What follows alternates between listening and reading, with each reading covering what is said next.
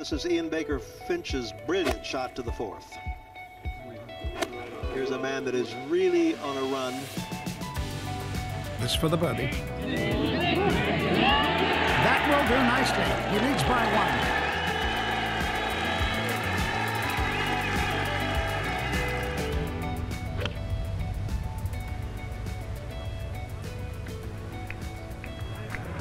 He's won it here before. He knows it can be done. Oh, what a magnificent shot at a moment like that. He has this to win by two shots. So Peter Thomson from Australia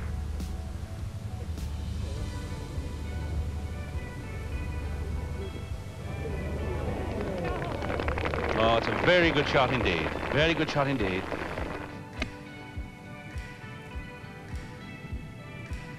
Thomson four over par, wanting a four for 288. Safely on the left-hand side of the green. Nagle two over, wanting a four for 286. Playing absolutely directly up to us. Desperately important shot. Three here would News would reach lock. And there he is. Beautiful shot, exactly level with the flag, about four yards away.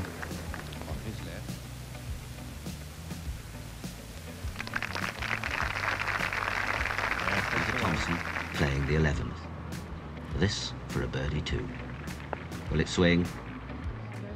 Yes, it will. Thomson goes four under, five times Open champion, and here he is at the age of 48 in contention yet again. Big long win. Good strike. Ooh, he just tiptoed over the bunker. What a nice break that was. Landed on top of the bunker, came down the hill. Got to make a move early, and he does. Nice to make a move early. Oh, he got it. Looked at if it was just going to Just reminding us that Norman three putted here yesterday for a par, and that's a better one though. Look at this. Look at this. Look at this.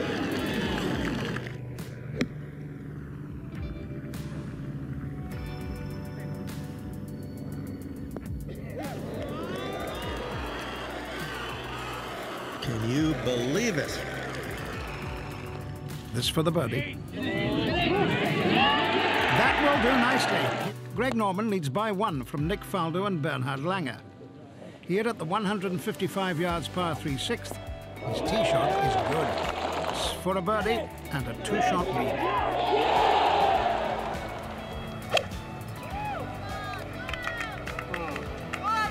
Lots of adrenaline, so he might well have taken one club less than usual. How about that? Thank you very much.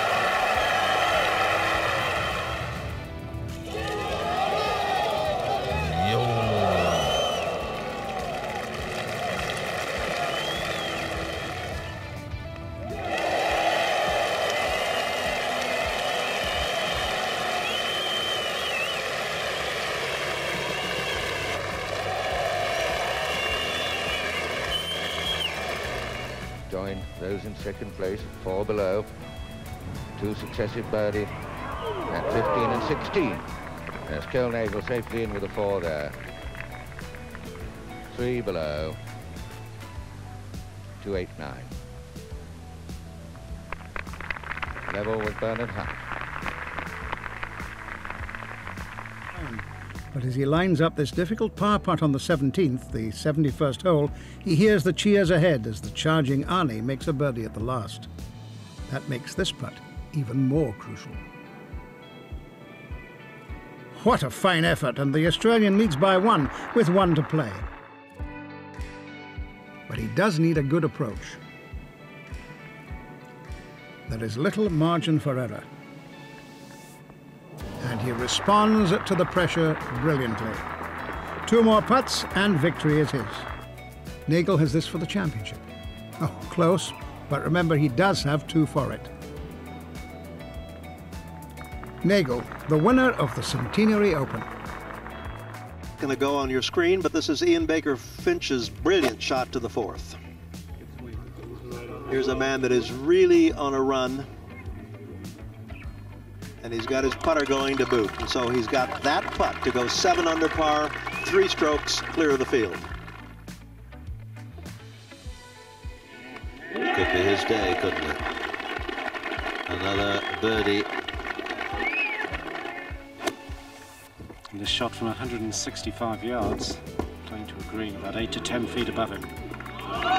Oh, what a brilliant shot.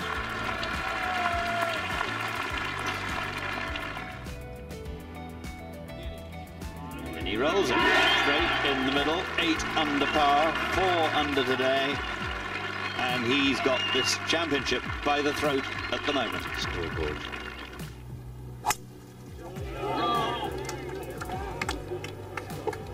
Well, he went strangely silent as he fires it over to the left side. But uh, certainly a number of shots in hand. He's made a good contact from there. That came out well.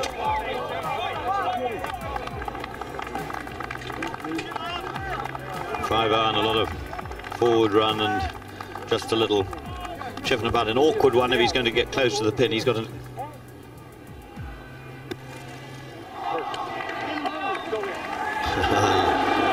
it up he did, rather like the shot he played at the 15th, with almost exactly the same result.